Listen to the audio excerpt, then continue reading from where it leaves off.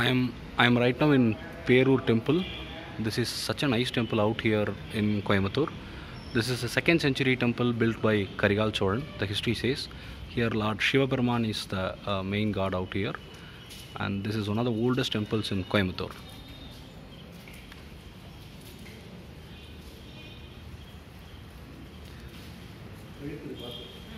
This is such a fantastic temple.